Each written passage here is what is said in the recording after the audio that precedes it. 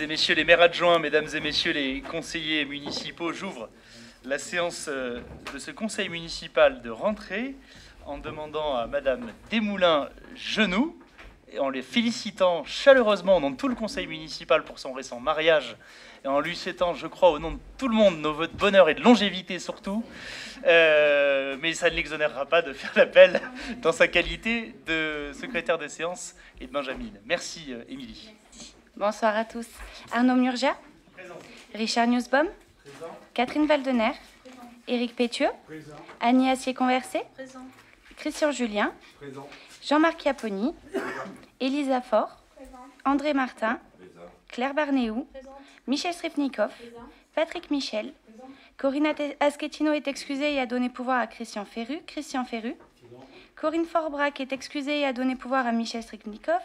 René Michel est absent et a donné pouvoir à Patrick Michel. Christophe Osti. Stéphane Simon. Renaud Ponce.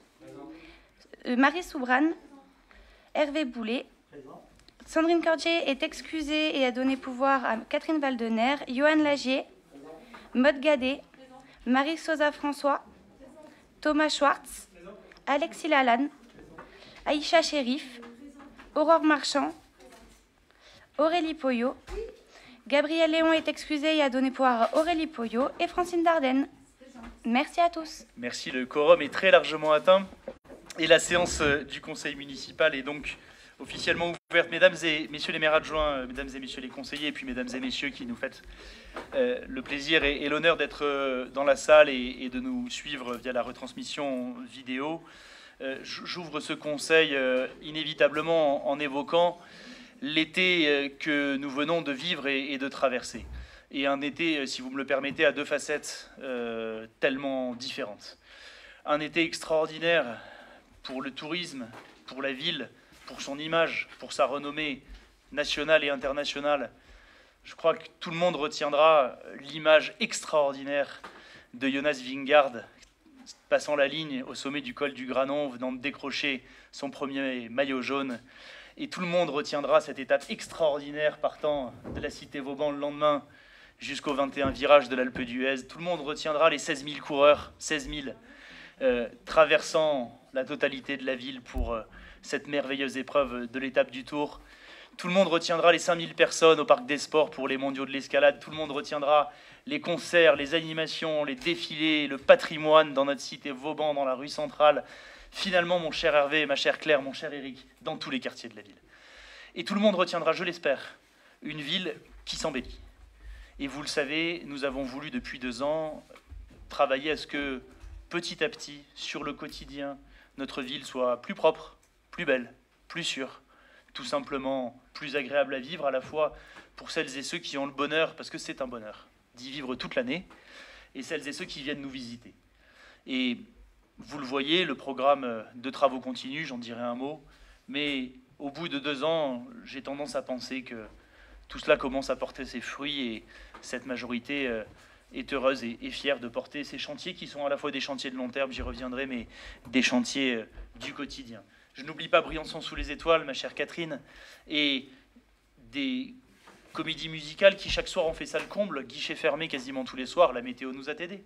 Mais tout de même, c'est que je crois que la vie culturelle a un bel avenir devant elle euh, dans notre ville et nous tâcherons de continuer sur euh, l'ensemble de cette diversité.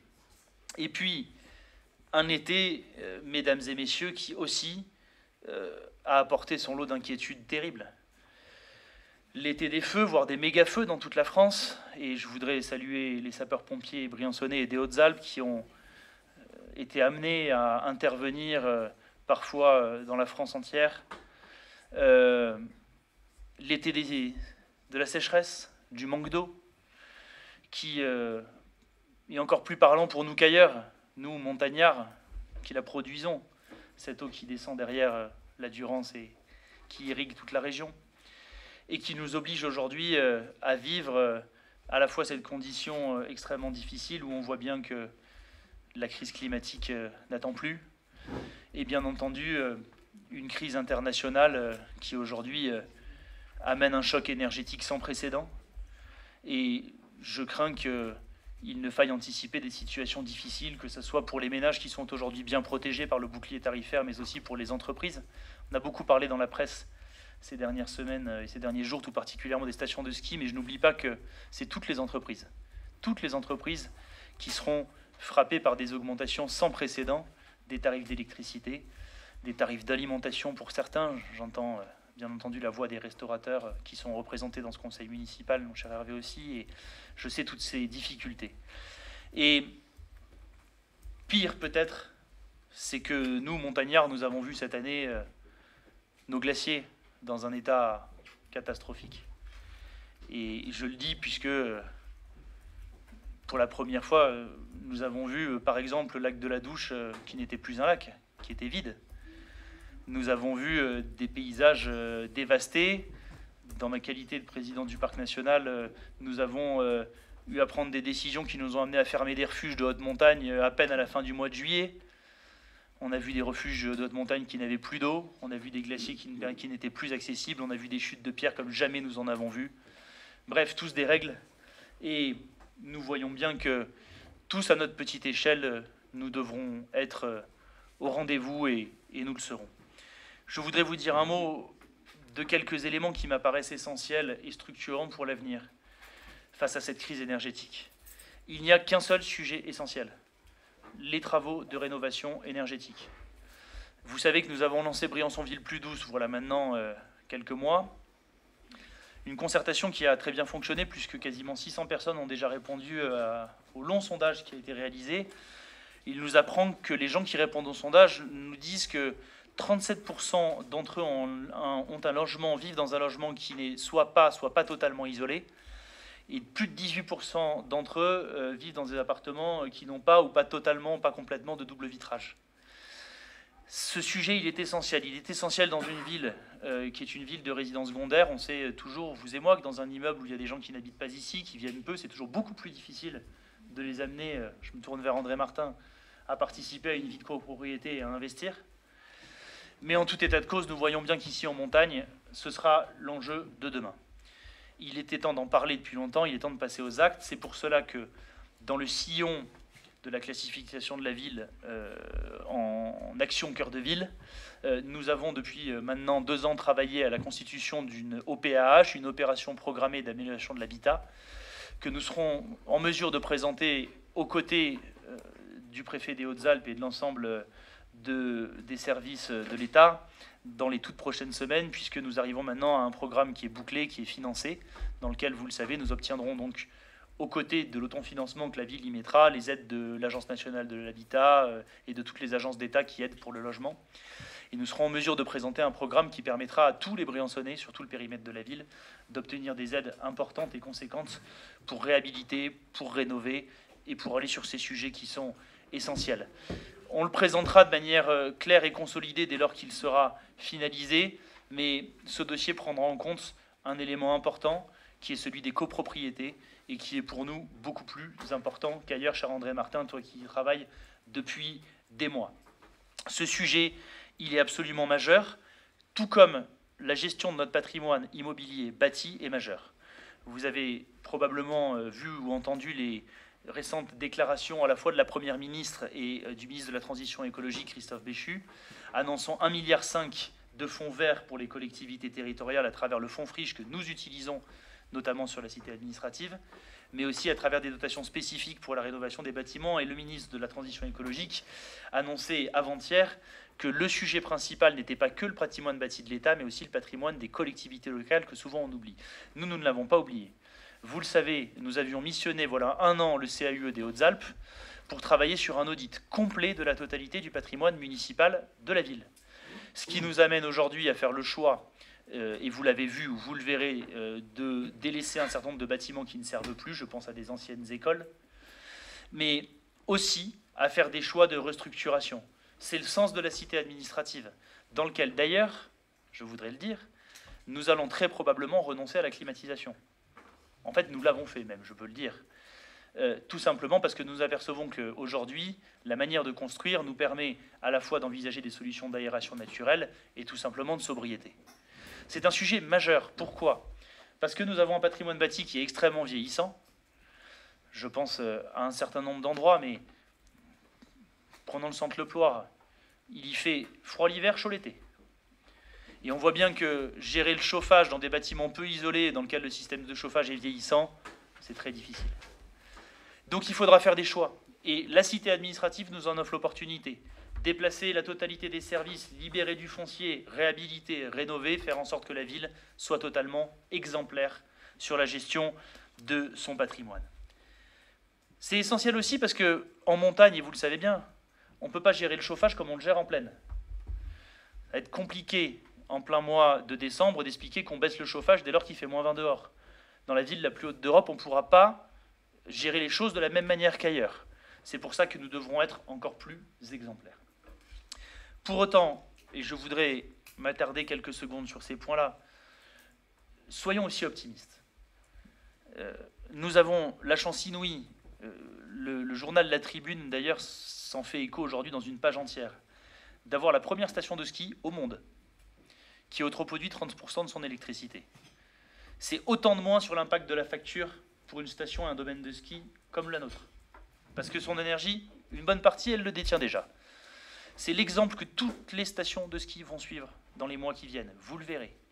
On a innové, notre station a innové avec ses panneaux photovoltaïques sur toutes les remontées mécaniques, avec les éoliennes, etc. etc. Et puis, cher Eric, on a EDSB. On autoproduit plus de 40% de notre énergie. Bref, vous le voyez bien, en réalité, nous avons tous les atouts pour préparer l'avenir dans ce monde qui change. D'ici là, la ville, elle continue d'avancer sur ses grands travaux. Je voudrais en dire un mot très brièvement. Les trois bâtiments militaires, dont pendant des années il a été débat de savoir si on en ferait quelque chose tout simplement, ou si on les détruirait. Aujourd'hui, nous savons, un, qu'on ne les détruit pas, deux, qu'elles seront réhabilitées, trois, qu'elles vont créer de l'emploi, quatre, que ces travaux vont démarrer bientôt, puisque les trois casernes ont fait l'objet d'un permis de construire et que les travaux sont bientôt prêts à démarrer. La cité administrative dans quelques semaines, le désamiantage, le curage démolition, les hôtels dans la foulée, rapidement aussi, et, d'ici à la fin de l'année, les derniers calages sont en cours et la validation du dernier permis, puisque l'un d'entre eux est déjà validé et purgé de tout recours, l'est aussi. C'est une chance inouïe que de se dire que dans quelques mois maintenant, nous aurons une magnifique cité administrative, de beaux projets hôteliers qui créeront des emplois, qui ramèneront des lits chauds à proximité des ProRel, qui irrigueront nos commerces de la ville basse comme de la ville haute de nouveaux clients. Le parc des sports démarre aussi. Le skatepark a enfin démarré. Et je voudrais dire à quel point j'aurais aimé que ça aille encore plus vite, mais nous avons fait avec le climat inflationniste terrible et le manque d'approvisionnement de matériaux qui nous a amené à ouvrir des appels d'offres qui n'auraient pas vraiment, cher Jean-Marc, respecté les finances publiques communales. Aujourd'hui, c'est le cas. Et puis, nous réunirons la commission d'appel d'offres dans les tout prochains jours pour attribuer les marchés du nouveau mur d'escalade et du nouveau terrain de rugby. Ce sera la phase 1 du parc des sports. Avant que l'année prochaine, la phase 2, avec le nouveau terrain synthétique, la piste d'athlétisme et la nouvelle halle des sports, démarre. Ce sont des chantiers qui étaient attendus et dont on parlait depuis plus de dix ans. C'est fait en moins de deux ans. Et tout cela est financé, inscrit au contrat de plan État-région, financé par l'État, le département, la région. Ça se fera. Et puis enfin, dernier point que je voulais aborder avec vous, puisqu'il va changer radicalement notre quotidien, c'est que je réunirai mardi prochain le conseil communautaire, un certain nombre d'entre vous seront présents, pour présenter au vote la nouvelle délégation de services publics relative au transport. Et celles et ceux qui utilisent le bus, qui savent bien qu'il y a le tube d'un côté, il y a les lignes de la région, il y a les lignes du CIVOM, il y a les lignes des communes, il y a toutes des tarifications différentes, il y a des tarifications différentes, il n'y aura plus qu'un seul système de transport. Ce sera l'actualité de mardi prochain, mais ça va changer le quotidien de nos enfants, à Briançon comme dans toutes nos vallées, puisqu'il y aura maintenant un seul et unique système de transport. Ça fait partie des grands engagements que nous avions pris, que de simplifier la mobilité. Et je crois qu'aux côtés des chantiers de la Via Guisane et de la Via Clarée qui vont enfin avancer, puisque nous avons un accord avec les 13 maires du Briançonnais pour que la communauté de communes reprenne la maîtrise d'ouvrage déléguée de ces deux chantiers. C'est en cours, c'est fait. Nous allons prendre la responsabilité de la gestion du foncier, finaliser avec les cabinets de géomètres l'acquisition de tout cela et travailler maintenant aux travaux. Et je peux vous dire d'ores et déjà que sous la responsabilité de Monsieur le Premier adjoint et de Monsieur l'adjoint à l'urbanisme, avec toi, cher Jean-Marc, nous avions négocié un accord avec l'eau vive, vous le savez, en bas du Chabat, et que les travaux pourront démarrer sur notre partie dès le printemps prochain pour la continuation de la Via Guisane vers Saint-Chaffré. Et nous travaillons en ce moment à des liaisons entre la Via Guisane et l'ensemble du centre-ville, des jonctions. Bref, nous aurons une, une jonction en site propre et derrière des jonctions vers le réseau de pistes cyclables de la ville. Vous le voyez bien, les bus, la mobilité douce et une ville qui avance sur ces grands projets. Notre ville euh, traverse, comme toutes les villes de France, une situation difficile, une situation de crise nationale et internationale, mais notre ville, elle avance. Elle avance pour celles et ceux qui ont le bonheur d'habiter ici toute l'année. Elle, elle avance pour celles et ceux qui la visitent. Nous étions la 16e destination française cet été. Nous pouvons en être fiers et être fiers de Briançon. Voilà, mesdames et messieurs, pardonnez-moi, j'ai été long, mais j'avais sur le cœur quelque chose que j'avais envie de vous dire, c'est que nous aimons notre ville et que nous aimons quand les gens sont heureux d'y vivre et d'y être. Voilà, quelques mots d'optimisme, malgré une situation difficile. La discussion euh, générale euh, préliminaire à l'ordre du jour est ouverte, et celles et ceux qui veulent la parole peuvent la demander immédiatement. Madame Poyot, vous avez la parole. Merci, Monsieur le maire. Bonsoir à, toutes et à tous. Euh, je vous souhaite une, bonne rentrée. Et juste pour compléter, Monsieur le maire, vos, propos euh, introductifs, Briançon Citoyenne aimerait avoir un petit mot de soutien et de condoléances pour la famille de la jeune fille qui a trouvé la mort dans la vieille ville cet été. Euh, donc voilà, on avait envie de, d'apporter donc hein, notre soutien, nos condoléances euh, voilà, à la famille, mais aussi euh, d'apporter notre soutien à l'adjoint en charge de l'urbanisme, hein, à, à, Monsieur Martin, parce que voilà, c'est, pas des moments faciles dans la vie euh, d'un élu et puis euh, euh, aussi apporter un petit mot de soutien à tous les commerçants et aux habitants de la vieille ville qui ont visiblement été très touchés, très impactés par, voilà, par, par ce drame. Merci. Je vous en remercie, Madame Poyot. Je suis très touché de ces propos. nous étions le soir même avec Monsieur le Premier Adjoint sur les lieux. Et je dois vous dire que ce n'était pas le moment le plus agréable que nous avons vécu dans nos vies d'élus et personnels. Euh, et dire aussi toutes mes condoléances et mon soutien aussi aux urgentistes qui étaient euh, présents sur place. Et naturellement vous dire que, et vous rendre compte que depuis lors, euh, nous avons déjà réquisitionné plusieurs fois la nacelle des services techniques et les pompiers pour intervenir sur plusieurs toits, et que la nouvelle nacelle nous permettra, et nous utiliserons d'autres moyens techniques s'ils le font, dans les tout prochains jours, de procéder à une, inspection complète des toitures de la cité Vauban. Et je le dis vraiment avec fermeté, je signerai des arrêtés de péril à chaque fois qu'il le faudra pour contraindre les propriétaires. Voilà. Je, ne jette la pierre à personne parce qu'il faut que tout le monde ait en tête que cet accident est, un accident terrible, mais c'était un accident. Et une conjonction de facteurs probablement extraordinaires, l'enquête le dira, qui a amené à ce drame. voilà. Mais pour autant, les propriétaires ont des responsabilités et, il faudra qu'il les euh, exerce dans les semaines qui viennent. Merci Madame Poyot. Y a-t-il d'autres prises de parole? Madame Dardenne et Madame Chérif ont demandé la parole. Merci, bonjour à tous. Bah, vous allez voir, Monsieur le maire, que vos préoccupations euh, rejoignent les nôtres. Euh, nous pourrions vous parler de René Dumont, qui expliquait déjà en 1974, avec son verre à la main, le dérèglement climatique et les risques de grande sécheresse que nous vivons actuellement. Nous pourrions vous rappeler euh, la célèbre phrase prononcée par un homme qu'on ne peut pas qualifier de Khmer vert La maison brûle et on regarde ailleurs. C'était il y a tout juste un an, 20 euh, ans, excusez-moi. Et c'était Jacques Chirac. C'était Jacques Chirac, il y a tout juste 20 ans, le 2 septembre 2002. Or, aujourd'hui, chez nous, pour ceux qui font de la montagne, comme vous, monsieur le maire, n'est pas que, nous ne pouvons plus nous voiler la face les glaciers fondent à vitesse grand V et certains glaciologues parlent d'une fonte euh, équivalente aujourd'hui à euh, les, dernières, les 15 dernières années. Excusez-moi, euh, voilà, j'ai perdu le texte, mon texte. Désolé. Donc, oh, voilà. donc, les 15 dernières années. Alors, vous allez me dire quel rapport avec notre conseil municipal de ce soir, mais nous savons tous euh, pertinemment, comme vous l'avez rappelé, non, vous ne l'avez pas rappelé ça, que l'activité humaine est en grande partie actrice et responsable de l'augmentation de l'effet de serre. Nous savons tous que chacun à notre niveau, nous avons notre part à jouer et pour, je dirais, aujourd'hui, retarder le plus possible les conséquences dramatiques du, du dérèglement climatique. Pour nous, les élus, à notre échelle, notre responsabilité est engagée inévitablement, comme vous l'avez dit tout à l'heure. Alors aujourd'hui, quand vous vous réjouissez de l'avancement d'une magnifique piste cyclable avenue Jean Moulin ou euh, la prochaine délégation de services publics par rapport au transport, nous aussi nous en réjouissons. Mais en même temps, il faut limiter la circulation automobile dans le centre-ville. Quand vous désartificialisez la moitié d'une cour d'école, on peut penser que cela correspond à un début de démarche et de prise de conscience de l'action à venir pour Briançon, une ville plus douce.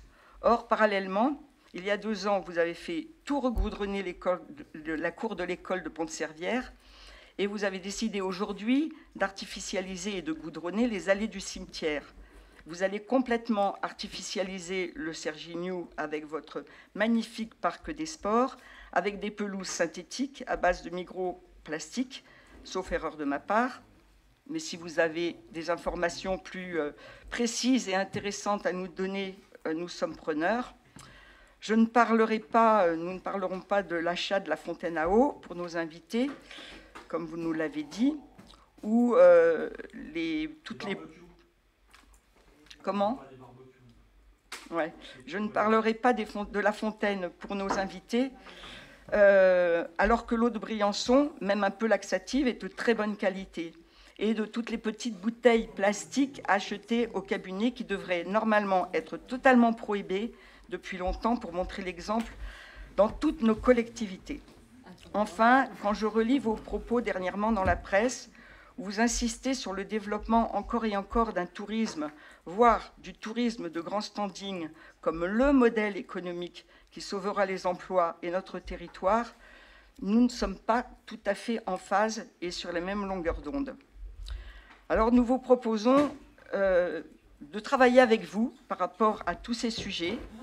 Nous vous proposons aussi, comme euh, les ministres du gouvernement Borne et Macron, euh, que vous soutenez aujourd'hui, avec l'aide des climatologues du GIEC, faire des formations avec tous les élus et nous y participerons volontiers parce que nous avons encore beaucoup, beaucoup à apprendre pour étudier tous les leviers, petits et grands, que nous avons, nous les élus, et qui existent pour réduire les émissions à gaz à effet de serre et engager dès aujourd'hui et d'ici la fin de notre mandat, de votre mandat, vers une ville plus résiliente et plus douce, puisqu'aujourd'hui c'est votre créneau.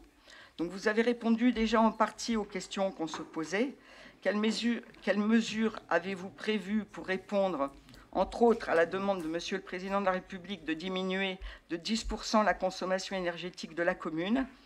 Par exemple, l'extinction de l'éclairage public, la diminution de l'utilisation des véhicules et donc de la consommation en carburant, l'isolation des bâtiments publics, bien évidemment, mais pourquoi pas travailler aussi sur le travail, le télétravail des agents, qui est aussi une piste de réflexion.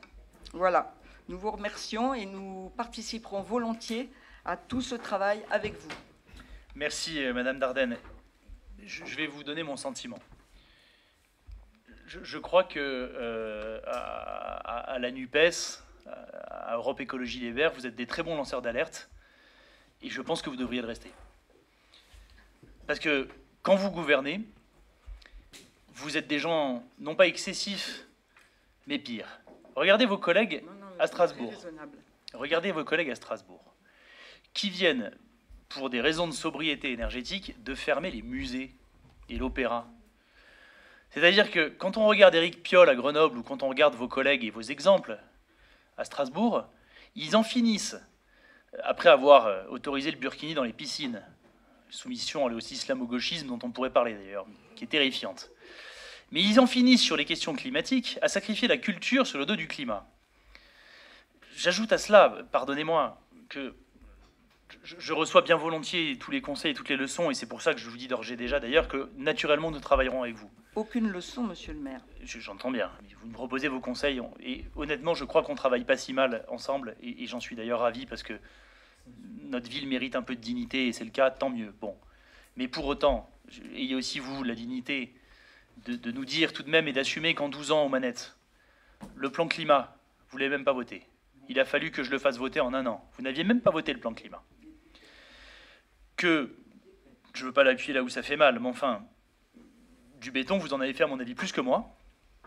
Et en l'occurrence, le doublement du parc et la coulée verte qui va aller dans le, dans le 15 9 dans le cœur de ville, il se trouve que c'est cette majorité qui l'aura faite.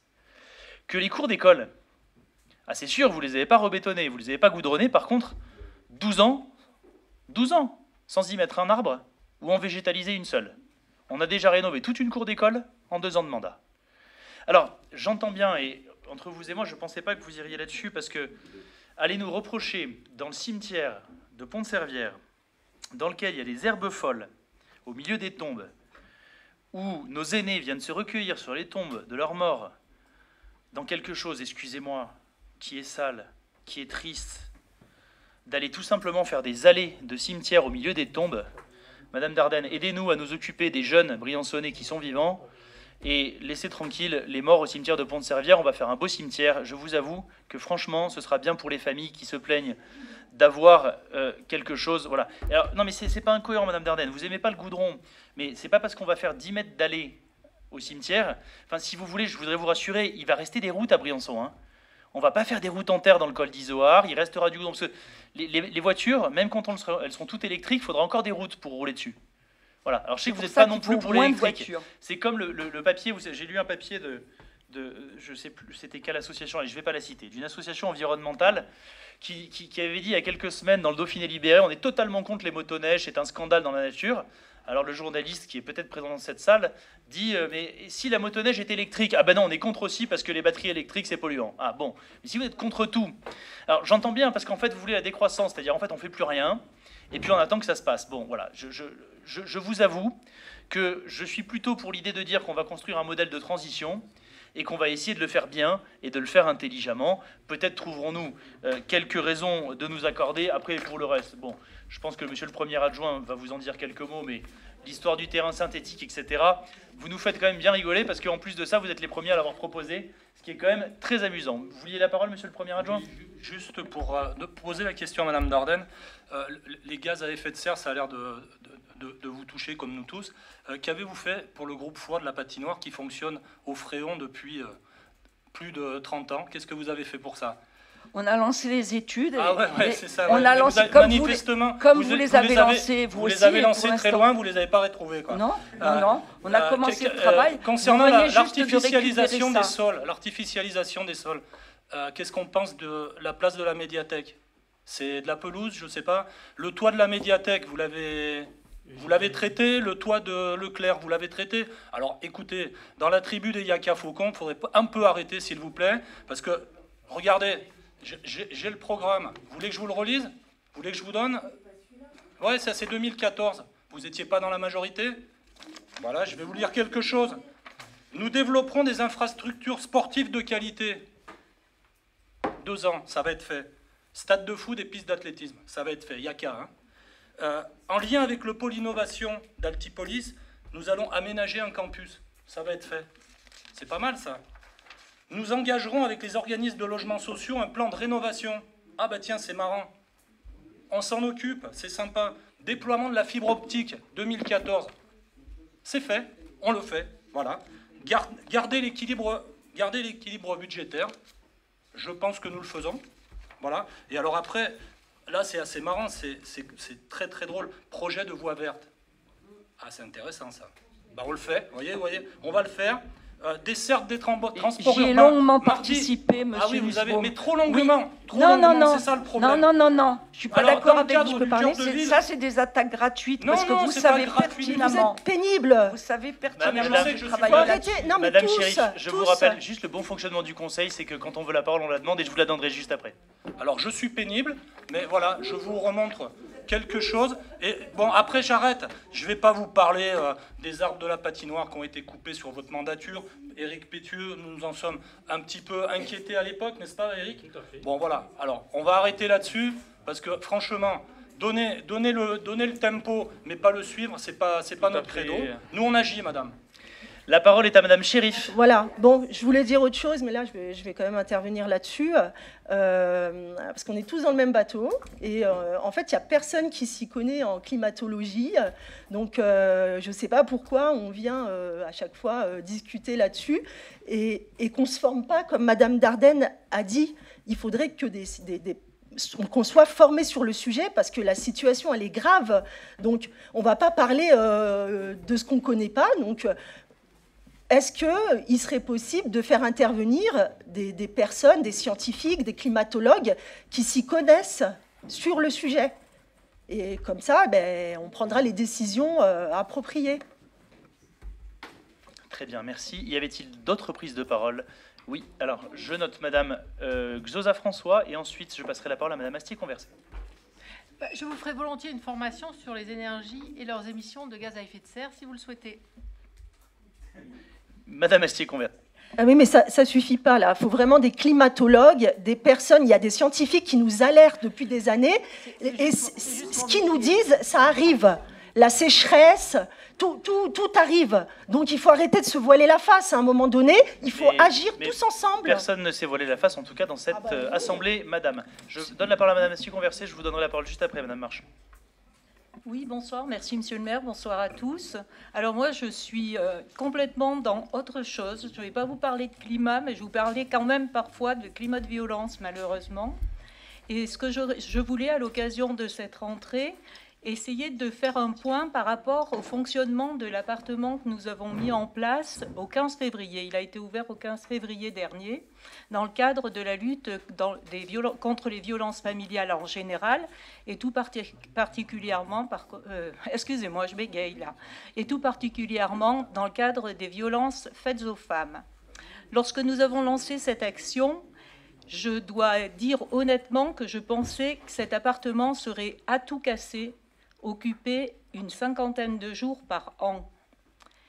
Et puis là, en, faisant euh, un petit point que je voulais vous présenter, ou tout du moins présenter à notre, à notre groupe, je me suis aperçue que aujourd'hui même, alors c'est euh, le fait du hasard, mais c'est peut-être un clin d'œil qui est fait à notre, à notre communauté, cet appartement est aujourd'hui même euh, a été occupé aujourd'hui même 100 jours. 100 jours en même pas 7 mois. 100 jours qui ont permis, enfin aujourd'hui, ces 100 jours, ils ont été destinés, ils ont permis à trois femmes de retrouver un petit peu autre chose que ce qu'elles avaient vécu jusque-là. Elles ont pu être accompagnées pour reprendre, pour se reconstruire, pour reprendre pied dans leur vie, pour se donner une chance d'aller vers un nouvel avenir dans ce cadre-là, elles ont été aussi accueillies, pour certaines, avec leurs enfants. Je voulais remercier ce soir, si vous me le permettez, la police nationale qui a été vraiment à nos côtés et qui a su intervenir quand il y en avait besoin, parce que malheureusement, nous en avons aussi eu besoin. Je voulais remercier le CIDFF qui est très présent et qui justement euh, chapeaute cette action que nous menons et M. Andreas qui s'occupe au, titre du CCAS de la gestion du dit appartement. Pour information, je voulais vous rappeler aussi, parce que c'est important que chacun le sache, que cet appartement, il est ouvert, il n'est ouvert qu'à des femmes briançonnaises, sauf si euh, euh, sur dérogation, je dirais, hein, euh, si les femmes travaillent à Briançon, et à ce moment-là, on peut regarder si elles peuvent être hébergées ici à Briançon. Je voulais simplement dire aussi que par rapport à ce chiffre 100 qui, pour ma part, m'a bien secoué quand même, que euh, le, procureur de la République, M. Crouy, lui, il est pour le maintien des femmes à leur domicile. Donc, si, et au jour d'aujourd'hui, au niveau de la justice, chaque fois qu'une femme désire rester à son domicile, c'est le mari qui est obligé de s'en aller. Ça veut dire que ça, c'est très bien. Mais c'est très bien, mais ça veut dire que malgré ça, on a quand même 100 jours ici d'occupation. Et je voulais vraiment les faire remarquer.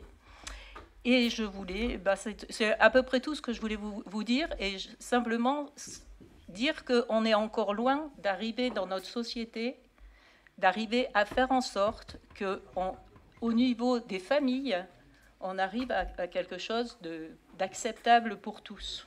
et que le travail à mener, il est encore long et il va être encore difficile, je pense. Voilà, c'était tout ce que je voulais vous dire ce soir. Madame le maire adjoint, merci et, merci, bravo et merci de ton engagement euh, personnel sur la question. Je voulais le dire avec euh, sincérité. Madame, alors, Madame Marchand avait demandé la parole. Euh, Moi, c'était juste pour un point information concernant la fourrière animale. Donc, est-ce qu'elle a réouvert? Parce qu'il y a des habitants qui m'ont dit qu'elle était fermée. C'était juste pour un peu informer la population. Donc, oui, réponse oui, en lien avec la SPA euh, qui euh, fait œuvre de prestataire en la matière. Et en l'occurrence, euh, concernant les habitants qui en auraient besoin, il ne faut pas s'adresser à la SPA, mais directement à la police municipale qui pilote le dossier. Madame Marchand, est-ce que vous souhaitez toujours la parole? Oui, alors Madame Marchand. Bonjour, donc je vous ai parlé en réunion préparatoire d'un mail qui avait été envoyé par des parents d'élèves au sujet des nouvelles règles de cantine. Alors je m'excuse, mais moi je n'étais pas là au mois de juin quand vous en êtes occupé. Donc il y a un certain nombre. On a reçu un mail, nous, en tout, cas, en tant que le Briançonnais d'abord, euh, concernant voilà, des mamans qui ont été étonnées de ne pas avoir été euh, consultées, qui aimeraient en tout cas euh, pouvoir contribuer aux discussions les nouvelles règles du centre aéré et de la cantine. Je tiens à dire que j'ai contacté cet été Madame Skripnikov, avec qui nous avons échangé sur le sujet des centres de loisirs, de manière respectueuse et constructive. Je vous remercie pour votre réponse. Merci. Avant de passer la parole à Mme Skripnikov, redire que bien entendu, nous sommes toujours ouverts à la concertation. Nous avons reçu la totalité des délégués des parents d'élèves de chaque, de chaque école au mois d'avril, sauf erreur de ma part. Plusieurs réunions ont eu lieu avec euh, le groupe Briançon Citoyenne qui avait demandé à être représenté, euh, notamment au mois de mai, pour définir le nouveau système. Et je voudrais, euh, avant de lui passer la parole, à la fois remercier euh, mon euh, adjointe aux, affaires scolaires Michel Skripnikov et puis euh, pardon, et la remercier et, donner un simple élément, d'explication, vraiment très simple. Notre cantine, elle est peu chère, elle est très bonne. J'avais donné en commission un chiffre que je vous redonne. On a un ticket moyen qui est en dessous de 4 euros, qui est bas hein, sur le prix de la cantine. Le coût à fin 2021, c'est-à-dire avant l'inflation d'un repas, c'est plus de 12 euros. Avant l'inflation non mais je le dis parce que manger à 12 euros dans une cantine, euh, c'est voilà. Et on a une cantine 100% bio zéro plastique. Pour le coup, euh, je vais être euh, objectif. Nous le devons pour le coup à l'œuvre de la municipalité précédente qui en avait fait un combat. C'est tant mieux, nous l'avons maintenu et nous continuons à le développer. Mais tout ça, ça a un coût pour le contribuable. Et notre cantine, elle est souvent pleine. et très concrètement, ça nécessite un tout petit peu de règles et c'est ce que nous demandons. C'est-à-dire qu'on peut s'inscrire de semaine en semaine. Par contre, la seule manière, et ce que nous demandons, c'est que si on veut annuler la cantine de son enfant, il faut un certificat médical. Parce qu'on constatait trop de pratiques qui consistaient à inscrire trop facilement tout le temps, et c'est très bien pour les parents, mais il n'empêche que quand on prévoit un certain nombre de repas et qu'on a des, des, annulations de manière très volatile, ça ne fonctionne pas, ça nécessite euh, des surcoûts, et c'est pas possible pour les ADSEM qui ont déjà euh, un sacré travail pour garder nos enfants. On demande juste aux parents, semaine après semaine, d'inscrire sur les bons jours et de ne pas annuler pour qu'on organise au mieux les cantines. Je voulais le dire et apporter tout mon soutien à Michel Skripnikov qui a commencé ce mandat aux affaires scolaires pendant deux années de Covid avec les protocoles sanitaires les plus compliqués du monde, et des enfants qui, pour ceux qui en ont, euh, quand ils sont enfermés dans une classe la même journée, mais je sais, Mme Marchand, que là-dessus, vu que c'est votre métier, vous le savez bien, c'est sacrément difficile. Donc je voudrais en profiter à travers toi pour saluer l'ensemble des personnels de la ville et de l'éducation nationale. Michel Skripnikov, vous avez la parole. Merci, Monsieur le maire. Bonsoir à tous. Euh, comme vous l'a dit euh, Monsieur le maire euh, tout à, l'instant, Madame Marchand, préparer les repas des, écoliers coûte de plus en plus cher, et dû à l'inflation actuelle. notre volonté n'est pas de voir alourdir la, facture des, familles, bien au contraire. Il faut savoir que le, prix du, repas moyen, c'est de, de 3,32 et comme l'a annoncé tout à l'heure euh, Monsieur le maire, euh, nous participons quelque part financièrement euh, au coût du repas, puisque sur les 3,32, si vous faites la soustraction sur les 12 et quelques que nous coûte un repas, donc je pense que nous, aidons beaucoup les familles de ce côté-là. Quant à ce changement, c'est vrai qu'on peut réserver quand même d'une semaine sur l'autre. Donc s'il euh, y a des changements au niveau des plannings, c'est quand même euh, assez euh, modifiable. On est assez souple. Ils peuvent voilà, réserver soit la semaine, soit au mois. Donc je pense que on est quand même assez souple par rapport aux autres communes. Je vous, en, je vous engage à aller voir les autres communes. Et puis euh, au niveau de, de l'intendance et de la gestion aussi du, de, nos services, c'est quand même une gestion beaucoup plus simple aussi. Il faut penser aussi à, la gestion de, de, notre service des affaires scolaires. Merci Madame Voilà. Quant à la réponse, il y aura une réponse euh, suite au mail. Mais j'aurais aimé euh, avoir les, j'ai aucun nom. Je ne sais pas qui il faut que j'envoie ce mail à qui m'adresser. Donc il y aura une réponse. Mais J'aurais aimé voilà, savoir quels euh, parents d'élèves avaient participé euh, à cette euh, J'imagine qu'ils se, qui se manifesteront lorsque vous les J'ai pas de numéro de téléphone, j'ai rien. Voilà, ça aurait été bien de. Voilà. J'imagine qu'ils vous répondront parce qu'en fait, ils, ont, ils auraient envie de. Moi, enfin, en tout cas, ce que je proposerais, euh, c'est peut-être de les rencontrer. Alors, dans, un, dans le cadre d'un conseil d'école, c'est pas tout à fait pareil, il me semble, mais peut-être une délégation euh, de parents délégués du Briançonnais, ça serait intéressant de les rencontrer une ou deux fois par an. Euh, par, rapport à ce que vous avez fait au mois de juin. Cet été, vous m'avez envoyé un mail, je vous ai répondu de suite. Je, je, fais en sorte à ce que chaque mail, chaque courrier soit. Je y réponds.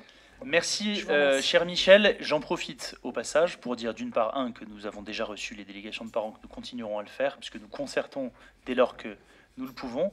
Et j'ajoute surtout que l'engagement de la majorité est très simple. Un, les tarifs de la cantine n'augmenteront pas. Il y a beaucoup de villes qui les augmentent. Et la qualité ne bougera pas. Et vous avez vu un certain nombre de communes dans lesquelles on commence à supprimer les entrées ou le dessert. Voilà.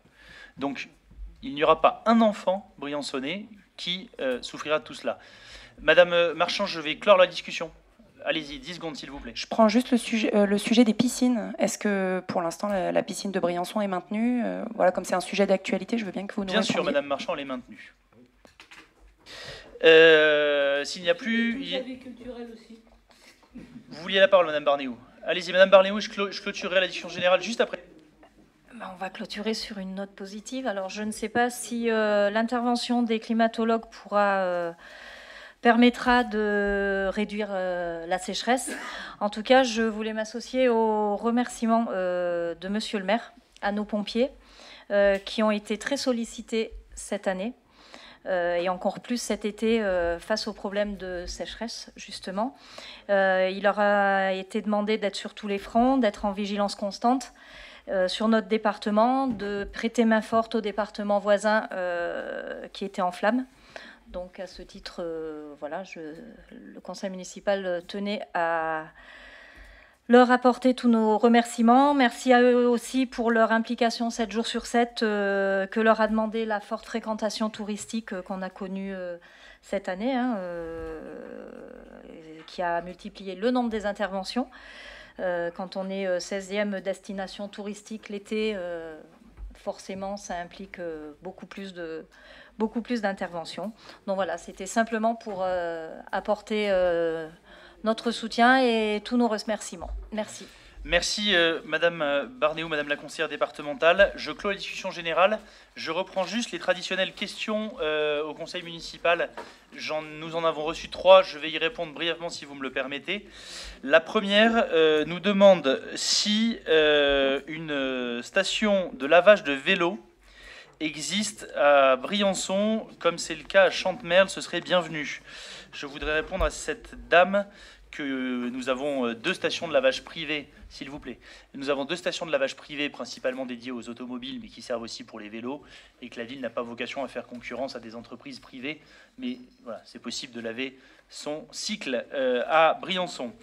Euh, un monsieur nous demande, au moment où on parle des économies d'électricité, il nous fait part de son étonnement d'avoir toute la nuit une vingtaine de lampadaires avec une intensité très importante pour le parking construit à l'arrière de la résidence Domitis. Je voudrais lui répondre que euh, il y a deux questions différentes. Il y a l'abaissement de la puissance de l'éclairage public et l'extinction. L'extinction, on va, l'expérimenter dans, les hameaux.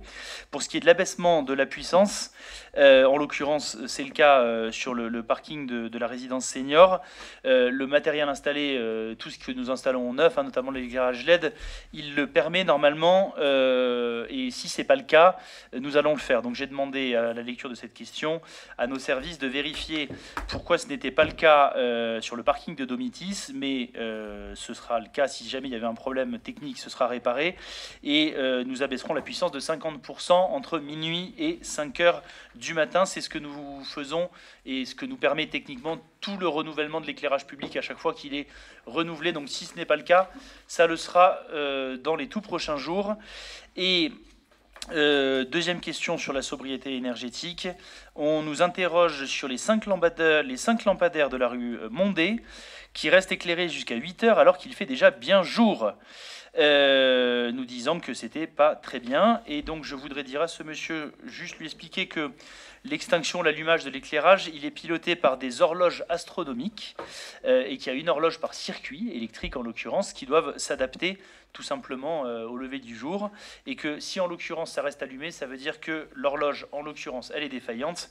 Et donc je voulais lui dire qu'avant la fin de la semaine, sous l'autorité de M. Chiapponi, les services techniques euh, vérifieront rue Mondé, si c'est le cas ou pas, mais ça me permet de dire, et vous le savez, qu'on a euh, en la matière des installations qui sont vieilles et vieillissantes, et que c'est pour ça qu'on essaie de les moderniser, parce que malheureusement, parfois quand on éteint, on ne sait pas si ça va se rallumer, mais en tout cas, on ira le vérifier, et on sera très attentif à ces questions de non-gaspillage de l'énergie, ça va de soi. J'ouvre la séance du conseil municipal en vous demandant si vous avez des questions éventuelles sur le compte-rendu des décisions du maire. S'il n'y en a pas, je le mets aux voix. Y a-t-il des oppositions ou des abstentions? Il est adopté. Et la parole est à monsieur le premier adjoint pour des représentations. Merci, monsieur le maire. Donc, euh, cette délibération concerne la représentation de la ville de Briançon, euh, notamment donc euh, au sein du comité de pilotage de l'espace valéen PADS, du SIVM de Serre-Chevalier, du comité régional des transports et de la, la RMBS et euh, Madame Marise Xosa François sera euh, donc euh, proposée en tant que titulaire. Madame Corinne Forbrac en tant que suppléante au sein de la coupe à. Ça va Christian pour ça? Très bien. Madame Maud Gadet en qualité de suppléante au sein de la mission jaune 05 de Madame Valdener et de Monsieur Johan Lagier en, qualité de titulaire au sein de l'Office intercommunal de Serre-Chevalier, Monsieur Patrick Michel en qualité de suppléant, de Monsieur Stéphane Simon, là aussi titulaire au SIVU du ProRel et au sein du CA de la SPL en tant que suppléant, de Madame Claire Barnéou en tant que suppléante au CIVU du ProRel. Je précise, concernant euh, la représentation de la commune euh, au sein de l'Office du tourisme de Serre Chevalier que comme titulaire nous avons donc Madame Catherine Valdener, Monsieur Hervé Boulet, Monsieur Johan Lagier nouvellement nommé, Monsieur Gabriel Léon. Les suppléants étant Monsieur Patrick Michel, Madame Marie Soubran, Madame Claire Barnéou et Monsieur Éric Prétieux, si présent. c'est juste, un changement entre Monsieur Julien et Monsieur Lagier. Euh, je vais mettre cette délibération aux voix. Y a-t-il ah non des questions, Madame euh, Poyot Oui, merci Monsieur le Maire. Euh, donc effectivement, on a pris connaissance hein, des différentes euh, modifications euh, des représentations donc, au sein de la ville. donc on, remarque qu'aucune désignation n'a été attribuée pour les élus de Briançon d'abord qui ont donc rejoint votre équipe. Et donc notre question, c'est de savoir un petit peu, comme Monsieur Lalanne et Monsieur Schwartz ont comme on pourrait dire de manière élégante, on, rejoint la majorité, euh, savoir un peu bah, quel était euh, leur rôle et quelle serait euh, leur mission et comment ils se positionnaient au sein de cette nouvelle majorité. J'aime bien cette petite ambiance sympa. Vous êtes fait plaisir là. Hein tout. Alors, je, pose des questions à vous, mais aussi, si vous le permettez, à Alexis Lalanne et Monsieur. Il ne, il ne vous a pas échappé que tout simplement ces changements sont liés uniquement au fait que M. Julien, euh, qui siégeait dans beaucoup d'instances, a souhaité euh, laisser sa place dans les instances représentatives pour se concentrer sur ses fonctions au sport et au tourisme qui sont déjà importantes doublées du CIPA, et que c'est pour ça que du coup, euh, M. Simon et M. Lager viennent euh, le remplacer. Donc ce n'est pas du tout une revoyure de la totalité. D'ailleurs, vous auriez pu poser la même question pour Mme Xosa François. Euh, il se trouve qu'en l'occurrence, nous ne comptons pas faire une revoyure de toutes les désignations de la ville, ce qui a été fait depuis le début du mandat, et que, en l'occurrence, étant donné que l'ensemble des conseillers font partie des commissions thématiques qui peuvent y participer très librement, ça ne pas grand-chose et strictement rien, et que à ce stade, si votre question était est-ce que euh, messieurs Schwartz et Lalanne euh, ont reçu une délégation, la réponse est non, et en l'occurrence à leur demande, sinon vous auriez vu dans les arrêtés du maire. Et rassurez-vous, je sens que vous, ça vous embête un petit peu, mais je crains qu'il ne soit souriant et que à ce stade, tout se passe plutôt de manière sympathique, ce qui me rassure sur la bonne ambiance globale de ce conseil municipal. Et je dois dire que pour avoir non pas siégé, mais assisté euh, à quelques conseils dans les années précédentes, je trouve que finalement, c'est pas plus mal. Voilà. Je vais donc mettre cette délibération au voie. Y a-t-il des oppositions ou des abstentions? La délibération est adoptée. Et euh, j'ai oublié de soumettre au vote le procès verbal du dernier conseil. Euh, y a-t-il des questions? Il n'y en a pas, je le mets au voie. Y a-t-il des oppositions ou des abstentions? Il est adopté. Et je vais, si vous me le permettez, vous présenter les délibérations 2 et 3 ensemble, puisqu'elles concernent la DM2 et, la révision des APCP, en vous précisant juste qu'il euh, y aura une DM3 au prochain Conseil qui prendra en compte l'ensemble euh, des problématiques liées à l'inflation. Celle-ci ne le fait pas.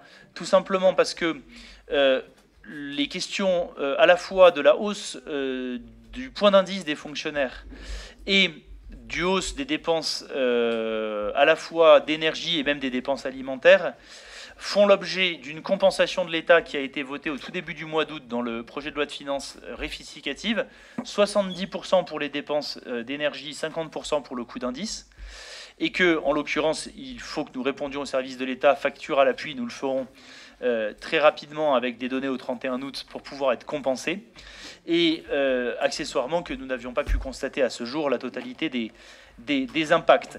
Donc cette DM-là ne, prend pas en compte tout cela, elle prend en compte des aspects assez mineurs, c'est de l'ordre euh, vraiment de la mise à jour, principalement en investissement, vous avez deux euh, ajustements de subventions sur l'avenue Adrien Dorel pour 50 000 euros et sur les travaux dans la cité Vauban sur les remparts pour 20 000 euros quasiment rien d'impactant euh, en fonctionnement, juste une compensation euh, des exonérations de, taxes foncières, puisque vous le savez, l'État le notifie en plusieurs fois.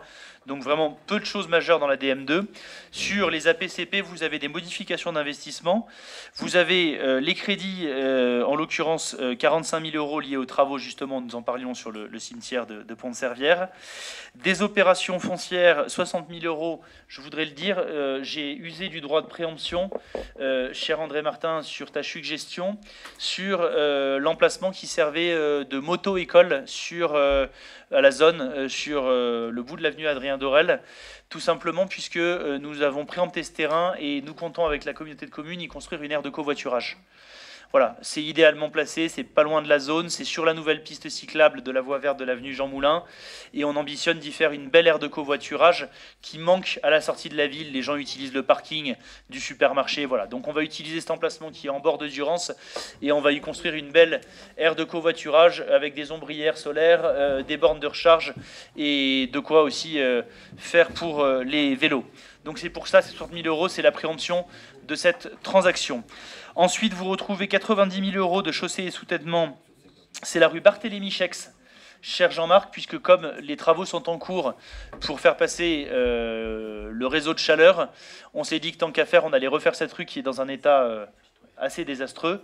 Donc cette partie-là de la rue Barthélemy Chex à Central Park sera refaite bientôt. Bientôt. 30 euh, 000 euros d'espace vert, c'est les travaux du square Jean Rousson qui démarreront le mois prochain. Vous savez qu'ils avaient été euh, fait l'objet d'une subvention du département, donc on va faire un square totalement neuf, totalement propre, et dans lequel, je le précise pour Jean-Marc Caponi, il y aura un petit terrain de pétanque. Mais qui ne sera éclairé que jusqu'à 22h pour le confort des riverains. Voilà. Donc vous pourrez jouer à la pétanque, monsieur Caponi, à côté du bureau de monsieur Nussbaum, mais tôt. Voilà. Et enfin, euh, vous retrouvez euh, des crédits importants pour les eaux pluviales et canaux. C'est parce que nous allons procéder avec la SPL à la refonte totale de la rue du Bacubert qui verra donc l'ensemble de ces canalisations du pluvial refait. Et rue Saint-Roch, rue du Bac-Hubert. Voilà. Et, je précise que les travaux seront réalisés à temps pour que euh, le quadrille accompagné de M. Pétieux puisse danser efficacement et utilement dès l'année prochaine. Voilà pour les travaux. M. Pétieux. Oui, et puis euh, donc une délibération qui, va dans le, sens de, de, toutes les questions climatiques qui sont posées, puisque l'objet essentiel en est l'amélioration du rendement du réseau de distribution d'eau. Euh, voilà, et le reste, c'est annexe. Et puisqu'on était là, euh, Francine, effectivement, euh, dans le cimetière de Pont-Servière, on avait réfléchi pour faire les allées en pavé granit, mais l'augmentation des matériaux a fait qu'on on a été obligé de, de, passer au goudron. On n'arrivait pas financièrement à, à mettre des pavés granit dans toutes les allées. Voilà. Allez, merci. Euh, d'ailleurs, la remarque de M. Pétieux est, importante parce que je vous rappelle que l'un des plus gros problèmes de la station d'épuration, c'est qu'il s'y écoule beaucoup d'eau claire, puisque même des canaux s'y euh, écoulent. Et ça, c'est un vrai sujet. Madame Marchand, vous avez demandé la parole. Oui, si vous me le permettez, je profite que vous ayez euh, parlé de l'inflation au niveau de l'électricité. Est-ce que euh, donc les, Français sont très inquiets et les Briançonnais aussi de l'inflation qui arrive. Est-ce que vous avez anticipé des choses euh, en termes de, de soutien des, associations comme pour voilà en termes alimentaires, d'un point de vue alimentaire? Est-ce que vous, enfin, on va avoir des familles qui vont se retrouver vraiment dans des situations très difficiles, peut-être avec des défauts de paiement de loyer, avec des problèmes pour se nourrir? Est-ce que c'est quelque chose qui peut éventuellement être anticipé. Euh, c'est-à-dire, qu'est-ce que vous demandez?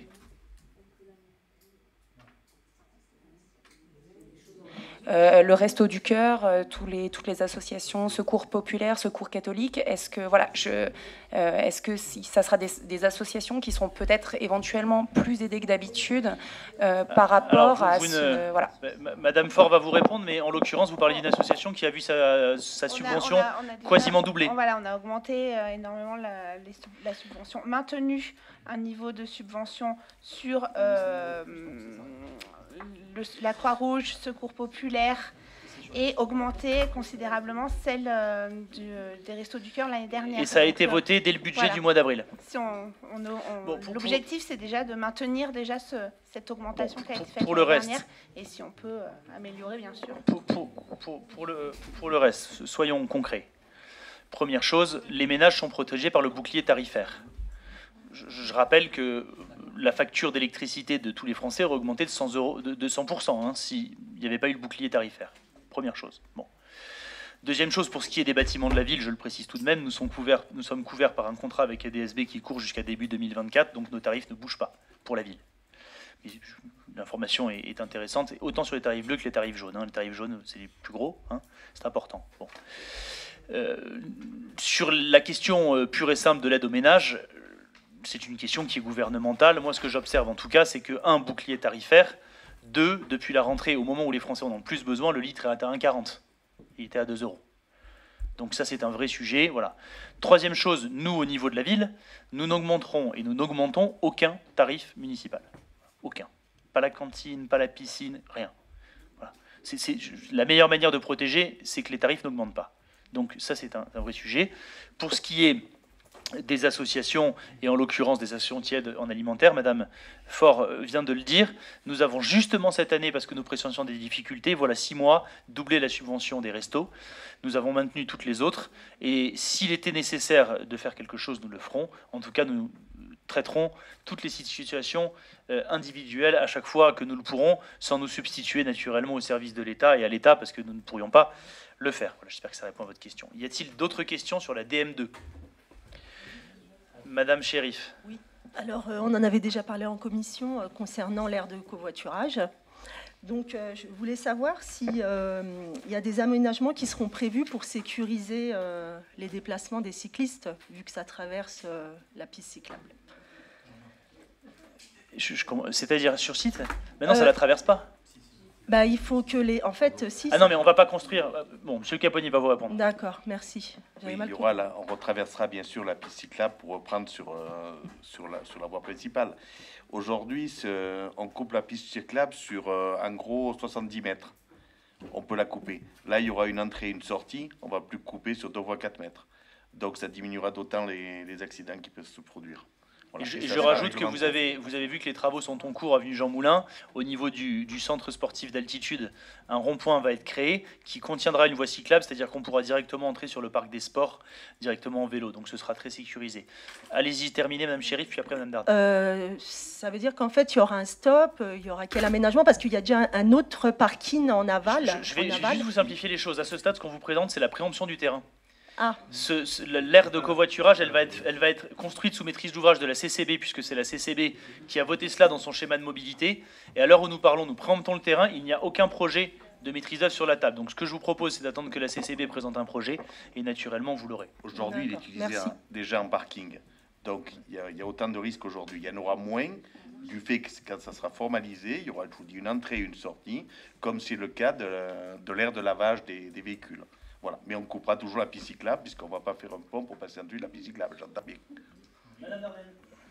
Madame Dardenne. pardon. C'était pour répondre à, Aïcha et donc pour compléter euh, vos propos. En fait, quand on utilise euh, une piste cyclable qui traverse euh, des, des, passages utilisés par les voitures, il y a le choix de. Donc, qui peut être fait aujourd'hui, puisqu'il y a un parking, effectivement, qui coupe la piste cyclable.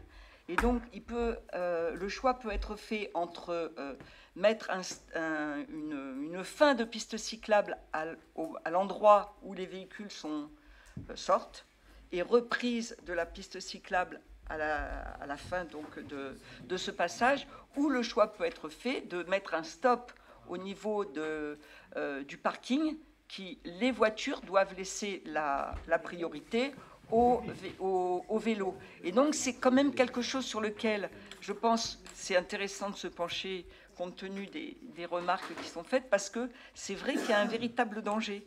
Parce que les voitures reculent ou euh, ne font pas forcément attention et les vélos passent. Donc comme il y a de plus en plus d'utilisateurs de vélos si, on, doit mettre deux stops à la sortie du parking, ça me semble pas insurmontable. Hein. Voilà, c'est ça. Il n'y a, pas de souci. C'est qu'un aménagement. C'est possible de répondre à ça. Ce que je vous dis, c'est que ça sent moins dangereux qu'aujourd'hui, puisqu'il est déjà utilisé en tant que parking, mais parking euh, sauvage. Voilà. Très bien, merci. Je vais du coup mettre la DM2 au vote. Il y a-t-il sur la décision modificative du budget des opinions, euh, des votes pardon, euh, contraires ou des abstentions? Abstention au nombre de 5 du coup avec la procuration 5, très bien, merci. La DM2 est adoptée. Euh, je mets ensuite la modification des APCP aux voix. Y a-t-il des abstentions? Il y en a 5 aussi, et des oppositions, il n'y en a pas. Elle est adoptée. Et si je retrouve l'ordre du jour que j'ai perdu, je peux passer la parole pardon, à Christian Julien, qui va présenter deux délibérations sur les piolets d'or. Merci Monsieur le maire, bonsoir à toutes et bonsoir à tous. Euh, monsieur le maire, si vous le souhaitez, je vais faire... Euh, prononcer la délibération du 4 et 5 et on votera les deux en même temps.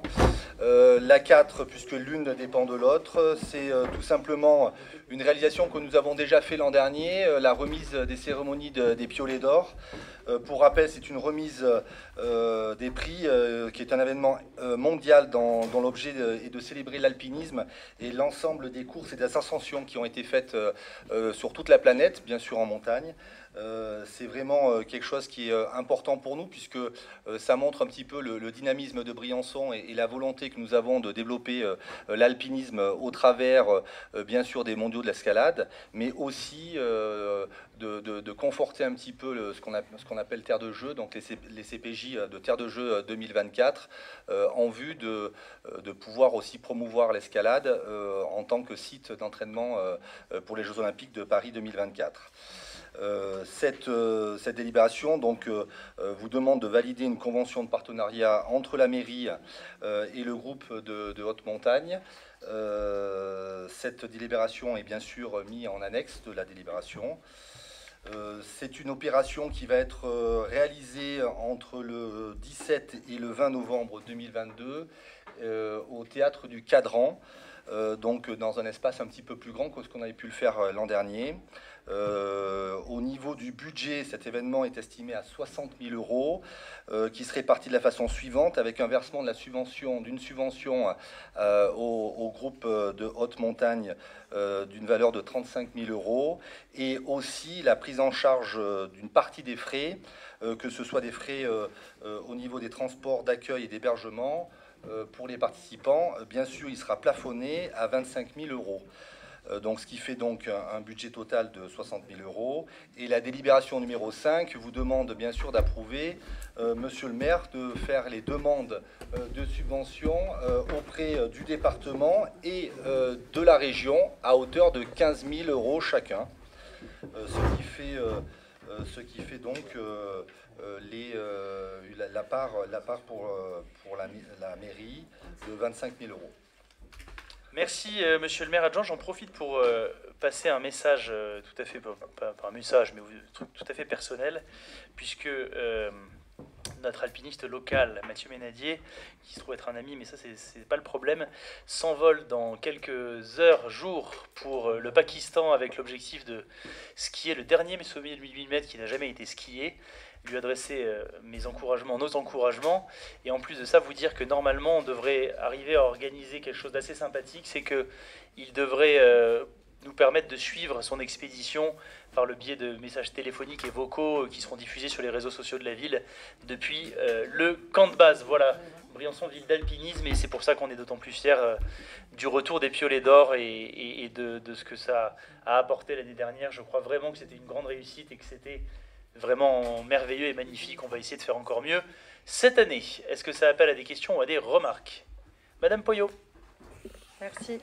Euh, donc bah, effectivement, hein, c'est une manifestation euh, voilà, euh, qui, était très intéressante, que nous soutenons. Hein, nous l'avions soutenue l'an passé. Et bien évidemment, nous, renouvelons notre soutien à, cette manifestation pour, pour cette année.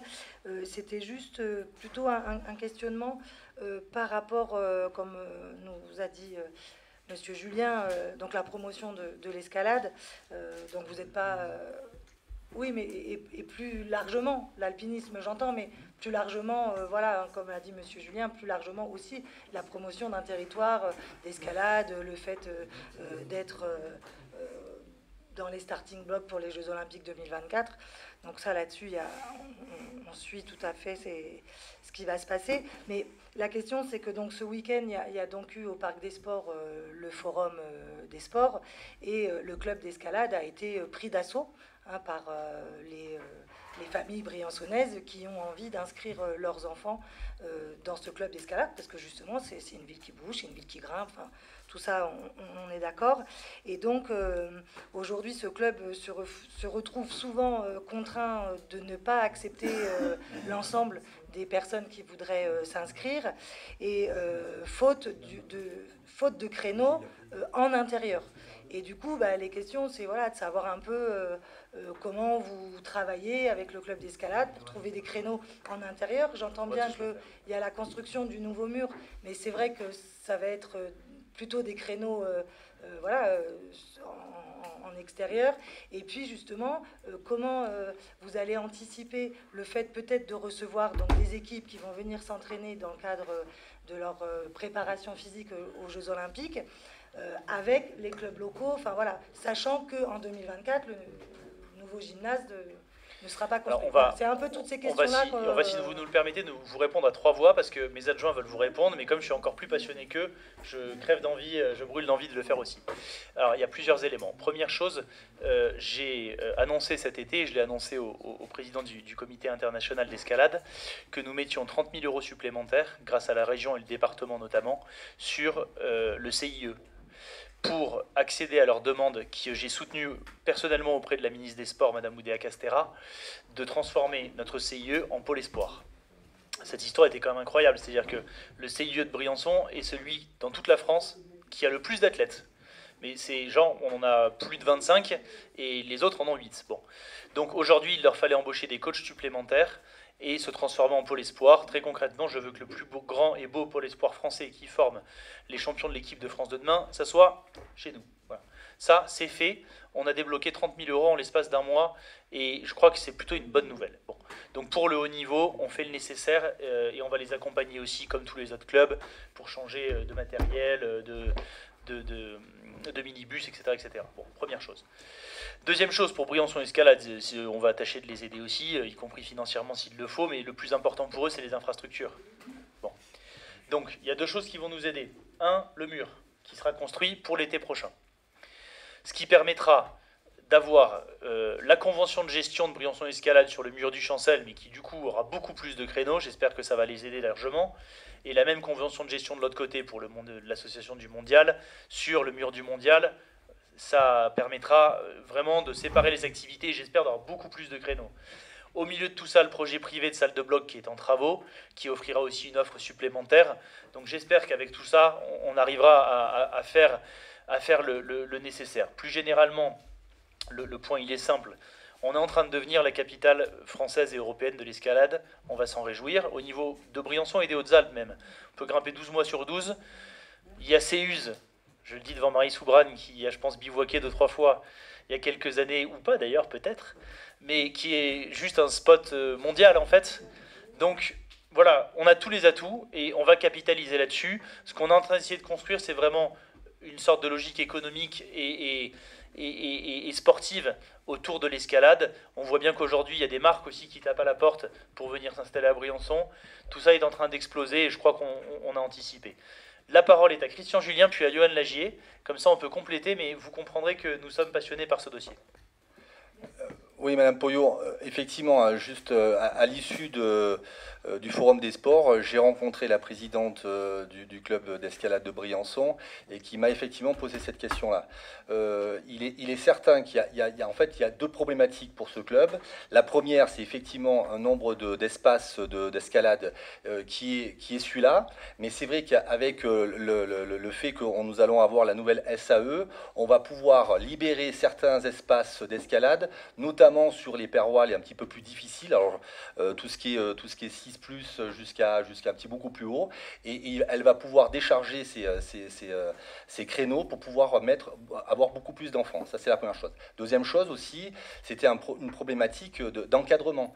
elle a besoin d'encadrement. Donc voilà, ça, on, est en train de travailler avec elle et de réfléchir pour que justement, on puisse développer la pratique du, de l'escalade, puisque vous, l'avez bien compris, monsieur le maire, euh, et, l'ensemble du conseil municipal est, tout à fait, est tout à fait dans cet objectif-là. Euh, voilà ce que je voulais dire par rapport à ça. Donc c'est vrai que le, mur d'escalade, et puis derrière sur le mur d'escalade, il y aura bien sûr euh, ce qu'on appelle la diff, mais il y aura aussi derrière un petit peu de bloc pour pouvoir, euh, et qui sera bien sûr vraiment étudié pour les enfants et, pour une pratique d'initiation. Monsieur Lagier, pour finir.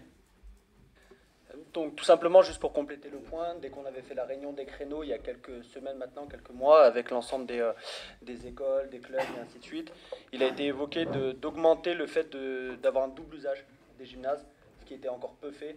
Donc on va réussir à mettre notamment le club d'escalade avec d'autres clubs, qui va permettre de libérer des créneaux à l'escalade, tout en ayant une bonne entente entre les deux clubs, ce qui va permettre d'augmenter déjà un petit peu le nombre de créneaux, ce qui n'était pas forcément fait avant avec un seul club qui utilisait le gymnase. Et maintenant, la démonstration va être faite au conseil municipal de pourquoi il était utile d'avoir trois élus au sport. Monsieur Michel. Non, je suis merci Monsieur le maire. Je ne suis pas un grand, grand spécialiste de, de falaises, mais euh, je travaille actuellement avec Jean-Jacques Roland justement sur, euh, sur les falaises. Beaucoup de falaises actuellement qui, sont, qui ont été occupées, euh, bah, vous avez vu, hein, on, en a parlé, qui ont été surfréquentées, on va dire, cet été. Donc on travaille actuellement en, tout ce qui est euh, responsabilité sur de nouvelles falaises aussi. Donc et voilà, donc je, crois, je crois qu'on a, on a vraiment un, beau panier à offrir à, tout le monde dans ce qui concerne l'escalade et peut-être aussi une nouvelle signalétique, mais on verra justement parce que c'est vrai que c'était un petit peu, pas le bazar, mais c'est vrai qu'on avait un peu du monde de partout. Et je crois que c'est important aussi euh, cette signalétique euh, pour les falaises. Je, vous le confirme et, je vous confirme par ailleurs que sous la responsabilité de, de, la vice-présidente Marine Michel, que je crois vous connaissez, la communauté de communes va euh, travailler à une signalétique sur la totalité des sites d'escalade du périmètre communautaire. Là, pour indiquer où se garer, parce que c'est toujours très compliqué, souvent on se gare au mauvais endroit, on embête les riverains, etc. Là, pour indiquer les questions de sécurité. Et, effectivement, je remercie Jean-Jacques et Martine Roland euh, aussi. Je crois en plus qu'il faut souhaiter des vœux de convalescence à Martine qui a eu un accident, euh, en les remerciant parce que le site qui a été équipé au Fontenil euh, est beaucoup trop dur pour moi, mais il n'empêche que c'est celui qui a probablement le plus belle vue de toutes les Hautes-Alpes, avec une vue sur les remparts qui est absolument exceptionnel. Voilà. Donc en tout cas, je crois que sur l'escalade, on avance. Je vais mettre la délibération numéro 4 aux voix. Y a-t-il des oppositions ou des abstentions? Elle est adoptée. Je mets la délibération numéro 5 au vote. Y a-t-il des oppositions ou des abstentions? Elle est adoptée. La parole est à monsieur le maire adjoint chargé de l'urbanisme pour euh, des délibérations relatives à la ZAC. Merci monsieur le maire. Mesdames et messieurs, bonsoir. Oui, nous allons revenir sur la ZAC des quartiers du 15-9, et plus précisément sur le déclassement et cession d'une emprise du domaine public communal, la parcelle AK54. Dans le cadre de l'aménagement de la ZAC des quartiers du 15-9 et de son lot A2, la présente délibération a plusieurs objectifs. Déclasser 170 mètres carrés de domaine public pour les céder à la SPL Isère Aménagement, correspondant à un ancien canal qui contournait le terrain militaire et à un chemin qui le longeait, et céder 155 mètres carrés de la parcelle AK54, toujours propriété de la ville, à la SPL Isère Aménagement. Ces deux cessions étant considérées comme des cessions sous forme d'apport foncier du concédant au concessionnaire, elles seront cédées à l'euro symbolique et les frais d'acte seront pris en charge par la SPL Isère Aménagement. Merci. Est-ce qu'il y a des questions? S'il n'y en a pas, je mets cette délibération aux voix. Y a-t-il des oppositions, des abstentions? Elle est adoptée. Monsieur Martin, vous avez à nouveau la parole. Merci. Le PLU approuvé par la délibération du conseil municipal en 2007 avait prévu l'emplacement réservé numéro 13 au profit de la ville de Briançon. La ville avait engagé des études de requalification de la ville basse lors de l'établissement du PLU et avait mis en perspective des potentialités de remise en valeur des espaces occupés par les anciennes casernes colo. Ce projet urbain a été conçu lors des études d'aménagement de la ZAC entre 2012 et 2021 et cet emplacement réservé apparaît désormais comme caduc. Le plan des voies et le découpage des lots de la ZAC ne correspondant en aucun point aux délimitations de cet emplacement réservé numéro 13.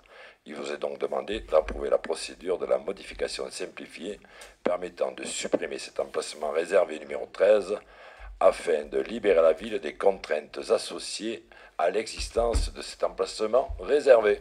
Merci. S'il n'y a pas de remarques ou de questions, je mets cette délibération en voix. Y a-t-il des oppositions ou des abstentions Elle est adoptée. La parole est à monsieur le premier adjoint. Merci Monsieur le maire. Donc cette délibération concerne l'accord de reprise de garantie d'emprunt dans le cadre du transfert de la concession euh, la ville de Briançon a accordé deux garanties d'emprunt successives à hauteur de 40% de deux prêts souscrits par la SPL Area PACA euh, pour financer les investissements réalisés dans le cadre de la ZAC.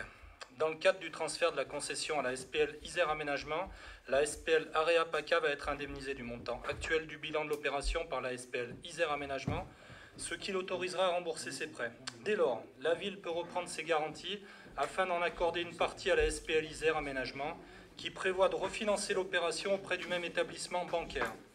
Il vous est donc demandé de reprendre la garantie d'emprunt des deux prêts dans les mêmes conditions, d'accorder la garantie d'emprunt pour le remboursement du prêt contracté par la SPL Isère Aménagement auprès de Arkea Bank et valider les conditions d'accord de la garantie telles qu'inscrites dans la délibération. Merci. Est-ce que ça appelle à des remarques ou à des questions? Si ça n'en appelle pas, je le mets aux voix. Y a-t-il des oppositions ou des abstentions? La délibération est adoptée. Vous avez à nouveau la parole, monsieur le premier adjoint. Merci, monsieur le maire. Rapport des élus euh, à leur collectivité, donc euh, de la ZAC des quartiers du 15-9. Le rapport des élus à leur collectivité reprend les points examinés lors des quatre séances du conseil d'administration qui se sont tenues en 2021. Il conclut en précisant que le bilan financier de l'exercice est déficitaire de 627,1 kg euros. Le rapport qui a déjà été discuté en CCSPL puis en commission rappelle également que le principe du transfert de l'activité de la reprise en régie par la région de la SPL AREA au 1723 a été acté. Ce principe suppose, comme cela a été évoqué lors du conseil municipal, l'arrêt d'activité aménagement qui ne peut être réglementairement reprise par la région. Le détail de ce rapport vous a été donné dans le projet de délibération. Il vous est donc demandé de l'approuver. Merci. Je ne reviendrai pas sur les polémiques euh, qui ont été reprises par la presse. Je crois qu'on est tous là, en tout cas de notre côté, pour avancer sur l'avenir de la ZAC. Est-ce qu'il y a des questions sur cette euh, délibération qui nous concerne finalement assez peu? S'il n'y en a pas, je le mets au voix. Y a-t-il des oppositions ou des abstentions? Elle est adoptée. La parole est à Monsieur Caponi pour euh, une série de quatre délibérations travaux. Merci, Monsieur le maire. Première délibération qui concerne la création d'un réseau séparatif que nous avons évoqué tout à l'heure dans le quartier de Pont-Servière, notamment rue du Bac-Hubert et rue Saint-Roch. Par la même occasion, le réseau d'eau est en, vétuste, il y aura la réfection du, réseau d'eau durant, durant, ces travaux. Une première phase des travaux est envisagée rue du Bac-Hubert. Le montant des travaux est estimé à 150 000 euros et il est demandé au maire d'autoriser euh, d'autoriser le maire à faire une demande de subvention au département, de, une subvention qui peut être estimée à 45 000 euros. Merci, Monsieur Caponi. Donc, je vais mettre cette délibération au vote. Qui est-ce qui vote contre? S'abstient. Donc la délibération est adoptée. Monsieur Caponi, vous pouvez continuer s'il vous plaît sur la délibération numéro 11. Là, nous allons parler de, renouvellement de plusieurs véhicules euh, sur les services techniques et sur le parc des sports. 5 sur les services techniques et 1 sur le, euh, sur le parc des sports. Renouvellement de véhicules qui est nécessaire du fait que euh, l'état de ces véhicules qui doivent être renouvelés ne respecte plus les exigences du contrôle technique automobile.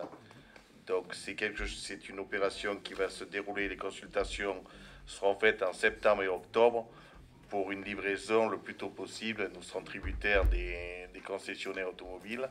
Et ce qui veut dire, c'est que nous nous dirigerons peut-être sur des véhicules d'occasion. Merci. Est-ce que c'est délibéré Oui, Madame Dardenne je voulais savoir s'il existait pour ce, les, véhicules techniques notamment euh, des possibilités de, de s'orienter vers euh, du biocarburant ou des, des hybrides, etc. Est-ce que vous aviez choisi ou, est-ce que vous y avez pensé et, comment ça se passe? Les consultations vont être lancées. Si ça rentre dans, dans notre enveloppe budgétaire, pourquoi pas? C'est des véhicules légers Bon, la transformation à, l'éthanol, ça ne représente pas grand-chose. Parce qu'il faudra peut-être se doter au niveau des services techniques d'une queue à l'éthanol. Il faudra y réfléchir. On y réfléchit actuellement. Tout à fait. Les autres véhicules, c'est, ce sont des camions, des petits camions bennes. Et on ne peut pas avoir justement du gazole de synthèse. Il faut se diriger uniquement sur l'éthanol.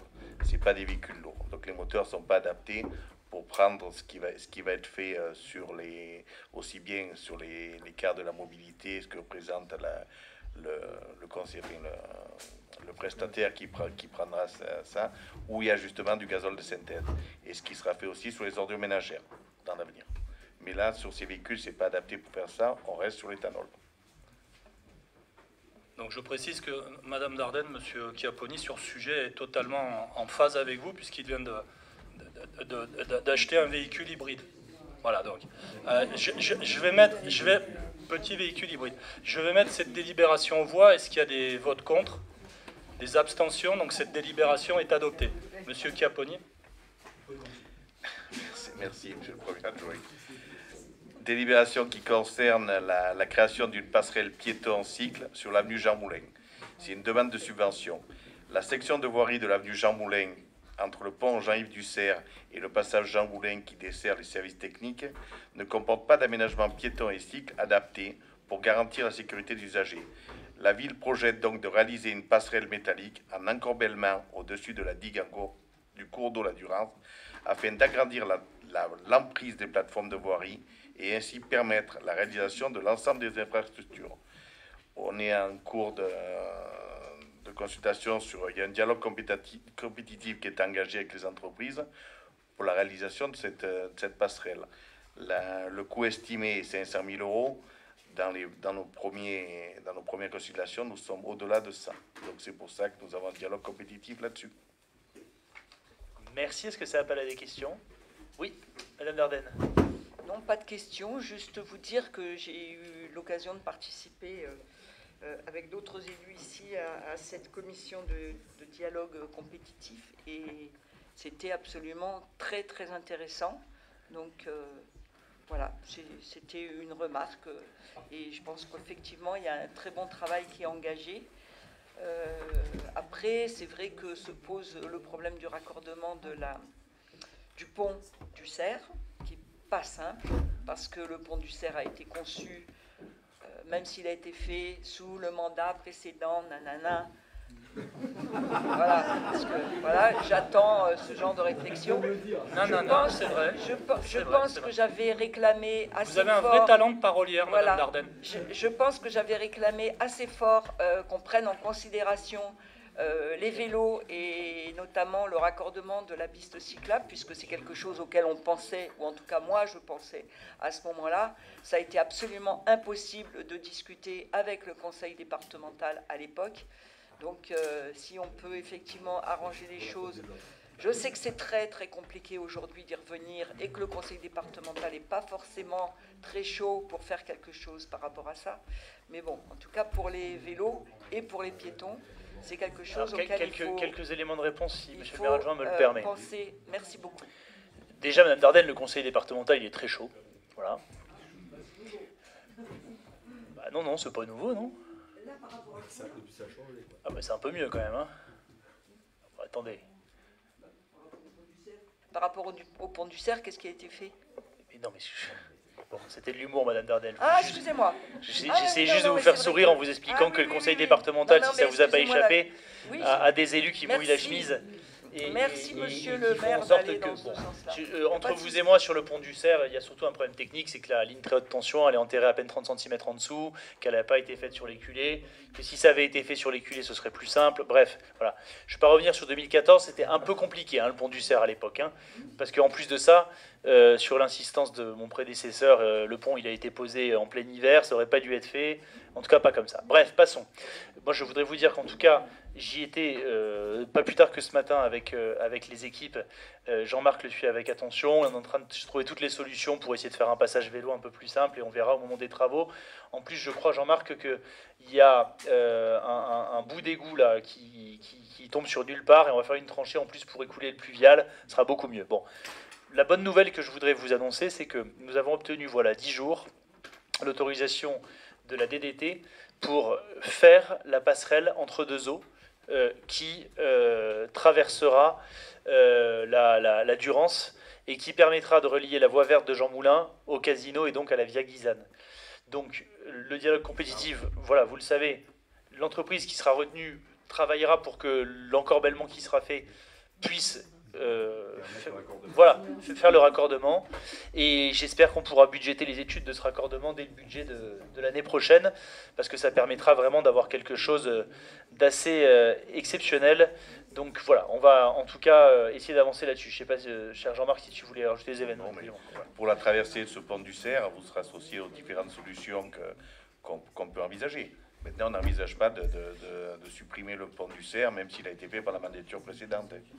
Donc voilà, c'est pas Mais on trouvera des solutions qui sont les, meilleures possibles.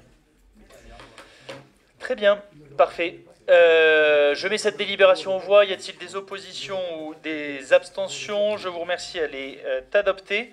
Et enfin, j'en marque la dernière délibération sur la viabilité hivernale. C'est une convention avec le, avec le département qui concerne des différentes voies, notamment le bois de l'ours, la route du bois de l'ours, la route de Pierrefeu, la descente du Fontenil et la route du Chabat-Pramorel. C'est une convention que nous signons avec le département, que nous réalisions par ces travaux à la place du département. C'est une convention qui était, caduque depuis, euh, fin 2021. voilà. Merci. Si ça n'appelle pas de questions, je le mets au voix. Y a-t-il des oppositions ou des abstentions Elle est adoptée. La euh, parole est à Michel Skripnikov pour les affaires scolaires. Oui, merci, monsieur le maire. Donc, il s'agit du renouvellement de l'adhésion du label écossaire de niveau 3, le grade le plus élevé qui garantit une cuisine faite maison avec des menus élaborés par la cuisine centrale, composée à plus de 61% de produits issus de l'agriculture biologique, dont 61,8% de provenance locale. Euh, je, rajouterai que notre centre de restauration est un site pilote de formation qui est destiné aux équipes de cuisine et aux responsables des restaurations collectives. Aussi fier de la qualité de la nourriture proposée à nos enfants, de la reconnaissance donnée par ce label et dans le cadre du programme Briançon Ville plus douce, qui vise justement cette qualité et cette responsabilité écologique, il vous est simplement proposé ici de renouveler notre adhésion au label EcoCert. Et puis j'en profite aussi ben, pour remercier le, personnel de notre cuisine centrale pour leur, leur travail et, leur sérieux au quotidien. Merci beaucoup et on félicite encore euh, les cuisiniers et bien entendu tous les personnels. Je vais, euh, s'il n'y a pas de questions, mettre cette délibération en voix. Y a-t-il des oppositions ou des abstentions Elle est adoptée. Et euh, Maude Gadet va pouvoir nous parler d'enfance et de famille, ma chère Maude. Merci Monsieur le maire, bonsoir à tous. Alors, la délibération numéro 15, c'est un renouvellement de prestations de la CAF pour l'accueil des jeunes de 3 à 11 ans. En effet, la CAF des Hautes-Alpes propose de renouveler pour 3 ans les conventions d'objectifs et de financement pour l'accueil de loisirs sans hébergement, périscolaire et extrascolaire pour la période de 2022-2024. L'enjeu est de bénéficier du versement de la prestation de service du même nom et qui fait référence au temps d'accueil périscolaire se déroulant sur les semaines scolaires, les mercredis et au temps d'accueil extrascolaire, c'est-à-dire les semaines des trois périodes de vacances scolaires plus les vacances d'été. Je vous demande d'autoriser la ville de Briançon à renouveler ces conventions. Merci ma chère Maud et merci pour ton travail sur la maison de la jeunesse avec l'ensemble des élus euh, concernés dont, dont, Elisa. Au passage, je me permets de le souligner. Y a-t-il des questions, Sylvien? Oui, Madame Marchand, je vous en prie, vous pouvez vous adresser à Madame Gadet directement. Alors, je m'excuse, je reviens sur le sujet précédent. Euh, je voulais savoir s'il y avait un projet au niveau de la CCB d'agrandir le travail qui est fait de très bonne qualité pour la cantine de Briançon. Est-ce qu'il est, euh, éventuellement... Euh, est-ce qu'il y a... Alors, réponse non, puisque la compétence, en l'occurrence des écoles, est une compétence communale. Tout simplement. Bah, oui, la restauration scolaire, voilà. Euh, rien n'empêcherait les élus de la communauté de communes, s'ils le souhaitaient, d'intercommunaliser cette compétence, mais à ce stade, ça n'est pas à l'ordre du jour. Et ça n'a jamais été soumis dans le débat euh, de l'interco. Voilà. Donc à ce stade, mais les communes peuvent nous se allons... former. Pardon Les communes de la CCB peuvent venir à la commune de Briançon dans les services par rapport au centre de formation dont parlait Madame Ah oui, bien sûr. Oui, ça, bien, sûr, il n'y a, aucun problème. Donc c'est quelque chose qui peut se faire. Bien sûr, mais en tout cas, si l'idée était de faire une cuisine intercommunale, euh, déjà dans l'état actuel des lieux qui nous sont impartis, on n'en aurait pas les moyens euh, concrets, hein, physiques, donc ça nécessiterait enfin, déjà une prise de compétences et en plus des investissements lourds. Je suis très ouvert au débat à la communauté de communes, mais en tout cas à ce stade, c'est pas venu euh, sur la table. Je vais donc mettre la délibération suivante aux voix, qui est donc la délibération numéro 15. Y a-t-il des oppositions ou des abstentions Elle est adoptée? Et je vais euh, permettre à Christian Ferru d'exercer ce qui est pour lui, je le sais, son plaisir de l'année, en vous présentant la coupe à fougère. Cela dit, on en sourit, mais euh, face aux problématiques de chauffage, alors naturellement ça concerne peu de logements à Briançon, mais on est tout de même content d'avoir des coupes à fougères de cette qualité et surtout si peu cher, mon cher Christian, si peu cher. Donc cette année, les services de l'ONF ont procédé à la désignation d'une coupe sur deux parcelles d'un volume total de 210 mètres cubes, qui sont situées au-dessus du champ de tir du fort des têtes, des trois têtes. Cette coupe est affectée sur pied avec un droit d'entrée de 30 euros et représente environ 300 stères de bois à répartir entre les bénéficiaires. L'an dernier, la coupe avait bénéficié à 15 inscrits et vous est demandé ici d'approuver la délivrance de la coupe sur les parcelles mentionnées et selon les modalités inscrites dans la délibération. Merci. Je précise que toute la communication publique sur la coupe à fougère sera diffusée ce vendredi. Madame Dardenne, puis Monsieur Simon. Oui, euh, c'est une question que je pourrais vous reposer puisqu'on en a parlé euh, en commission. Euh, pourquoi il n'y a-t-il pas de coupe en régie cette année? Ben, la coupe en régie cette année n'a pas pu se faire parce que personne, aucune entreprise d'exploitation forestière n'a répondu à l'appel d'offres. Donc euh, voilà, faute d'exploitants forestiers, ils préfèrent acheter le bois et le revendre que, de faire de la, la main-d'œuvre. Merci, monsieur Simon avait demandé la parole. Oui, bonjour à tous. Bonjour. Juste, juste en qualité de garant. Ça a commencé depuis une heure et demie, hein Oui, mais pour moi, c'est la première fois que je prends la parole ce soir, et il est de tradition de dire bonjour ou bonsoir, parce que bientôt l'heure est tard. La première chose qui me vient à l'idée concernant cette coupe à fourragère, c'est cette année l'augmentation du prix de l'énergie, qui risque de susciter des vocations. J'attirerai l'attention sur le côté sécuritaire de faire tomber un arbre sur pied. Les arbres sont sur pied là. Il va falloir les faire tomber. C'est un métier, et ça s'appelle bûcheron. Et on ne s'improvise pas bûcheron du jour au lendemain.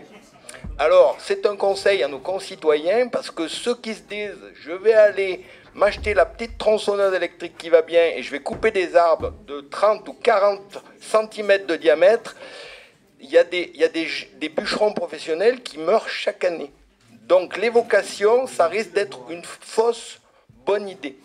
La deuxième chose par rapport à nos problèmes de climat, la deuxième remarque, c'est une remarque sur la consommation du bois.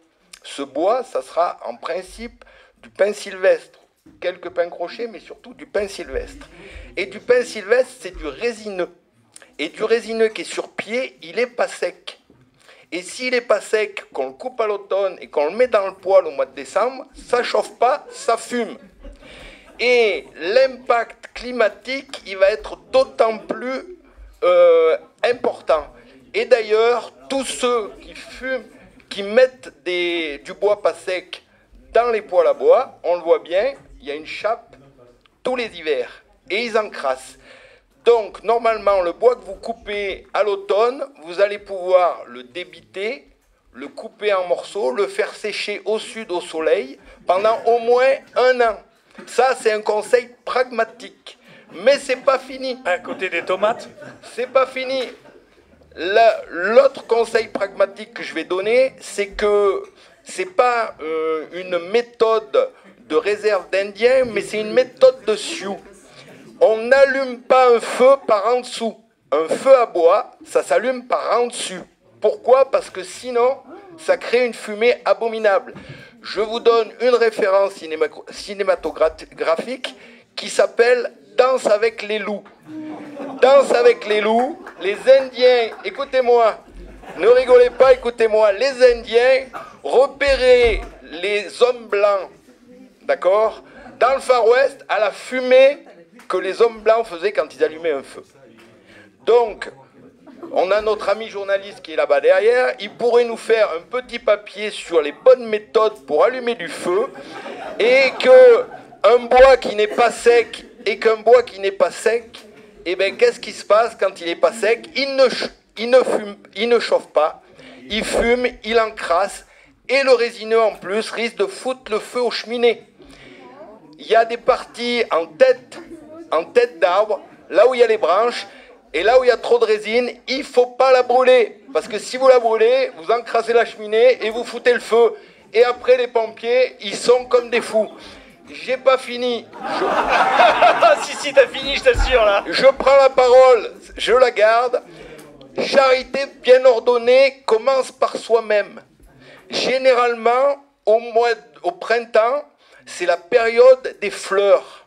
Et cette année, on a vu fleurir des fleurs, comme d'habitude dans les Alpes, mais on a vu fleurir un affichage sauvage qui est, à mon avis, toujours de la même identité. C'est peut-être ce côté France insoumise, insoumise à l'affichage public réglementé. Et tous les orages du mois, tous les orages du mois d'août qui sont tombés cette année, ils ne sont pas arrivés à faire tomber les affiches. Alors, charité bien ordonnée commence par soi-même. Ça serait bien que ces gens qui collent des affiches partout, ils prennent leur seau et ils aillent gratter les affiches qu'ils ont collées partout dans tout Briançon et dans tout le Briançonnais. Merci et bonne soirée. Bravo Stéphane pour ce quart d'heure pédagogique. La parole est à monsieur le premier adjoint. parce qu'il nous, a parlé des Indiens, mais il nous a pas donné le, le dicton. Quand homme blanc coupait du bois, Hiver très rigoureux. Ben voilà. J'en termine ici parce que je trouve que ça va beaucoup trop loin. beaucoup, beaucoup, beaucoup trop loin. Je, je, je, vois le visage de Madame Marchand se décomposer de, désespoir et je vois Monsieur Lagier, un bon supporter de l'Olympique de Marseille, qui se dit qu'il va louper l'échauffement. Madame Marchand, vous vouliez... Moi, je vous remercie pour la bonne humeur. Par contre, j'en profite de ce que vous dites, Monsieur Simon, pour euh, dire qu'il y a un vrai problème d'approvisionnement pour les granules à bois. Bien Donc, je pense à toute la population qui n'arrive pas à se fournir en granules à bois, alors qu'ils ont fait des gros efforts dernièrement pour euh, se mettre. Euh, et c'est une, une conséquence très directe du conflit ukrainien, vous le savez bien, puisque la plupart des entreprises ont décidé de récupérer la sciure à bois pour leur propre autoconsommation, qu'il n'y en a plus aucune sur le marché, et c'est un sacré problème que je souligne bien volontiers. Madame Marchand, je vous en prie, termine. Et c'est vrai qu'il est possible que ça amène à des comportements euh, qui manqueront euh, de civisme parce qu'il y a un vrai problème. On est bien d'accord. Et malgré, euh, enfin non, grâce à l'humour, en tout cas, on, a pu le souligner, c'était bien l'essentiel. En plus, je crois que les médias ont été convaincus, donc c'est plutôt une bonne nouvelle. Pour que tout le monde soit à l'heure pour regarder euh, qui la Ligue des Champions et qui d'autre le JT de 20h, je repasse la parole à Christian Ferru. Je fais voter les paroles de la coupe à fougère. Y a-t-il des oppositions, des abstentions? Nous allons donc pouvoir procéder à la coupe.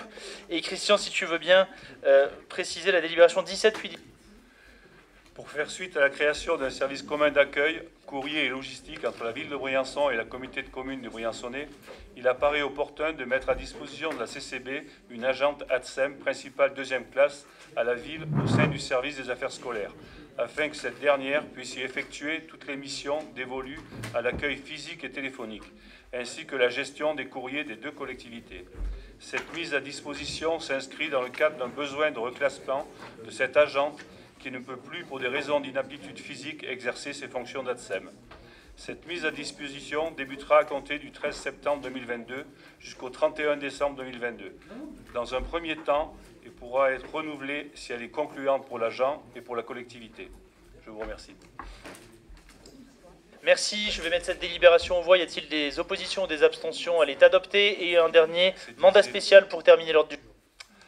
Il s'agit ici simplement d'accorder un mandat spécial à Monsieur le maire qui s'est déplacé les 29 et 30 août dernier dans la capitale afin d'échanger avec le ministre de l'économie et des finances, avant d'être reçu au ministère de l'Intérieur par le cabinet du ministre. Je vous remercie et j'espère que ça a été concluant pour avoir pas mal d'argent. Oui, je vous le confirme, c'était, c'était, c'était, c'était, c'était concluant, je vous le confirme. Merci, je vais euh, demander au premier adjoint de mettre cette délibération au voie puisqu'elle me concerne très directement. Donc on va Je ne participerai pas au vote. Voilà. Euh, donc, euh, est-ce qu'il y a des votes contre, des abstentions? Cette délibération est adoptée. Je vais poser la, question à Stéphane Simon, savoir quelle sera la prochaine thématique.